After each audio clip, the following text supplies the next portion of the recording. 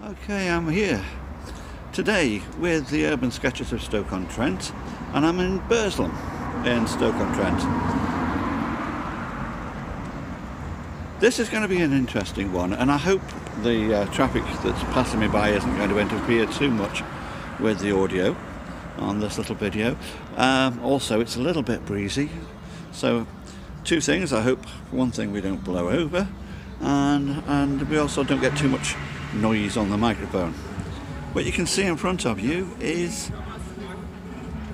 the only bit that's left, as far as I can see, standing of the Royal Doulton factory in Burslem since Royal Doulton upped and moved abroad a few years ago. In fact,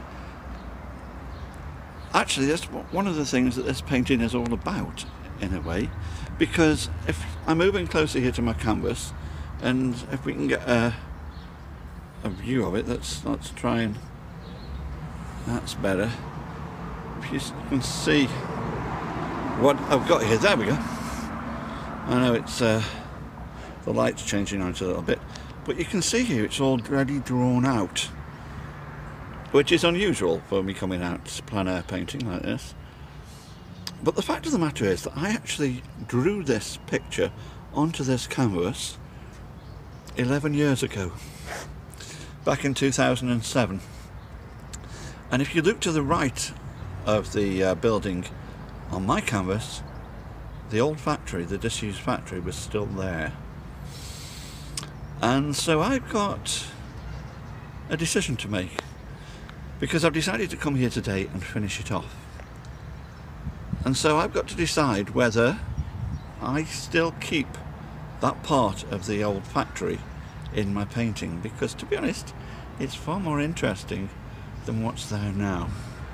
Also if you look over there on the factory wall there is a sort of falling apart blank sheet on the wall whereas my drawing actually shows what it says and it said closing down sale.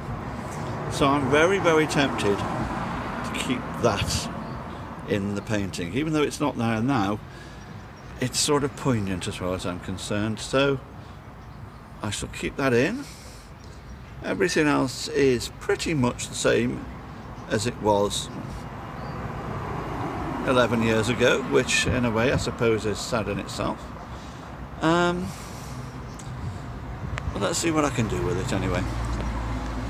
I'll catch you up in a little while when I've uh, done a little bit more. Okay, I'm set up and ready to go. But I thought before I started I'd give you a little look at the palette because I know quite a lot of you artists out there like to uh, know what uh, paint I'm using and what colours I'm using. We've got white, yellow ochre, sap green, scarlet lake, burnt sienna, burnt umber, cerulean blue, French ultramarine and a little dab of Payne's grey there at the end. Right, I've, uh, I think I've just done as much as I can do on this one. There it is. It's uh, 11 years since it was drawn out. Um, and, you know, I'm quite happy with it. Maybe I'll touch it up a little bit when I get home. I tend to like to do that. But for the moment, I've got to go and shift the car because the three hours that I paid for for parking is just about to run out. There's the uh, the building again, and there's the painting.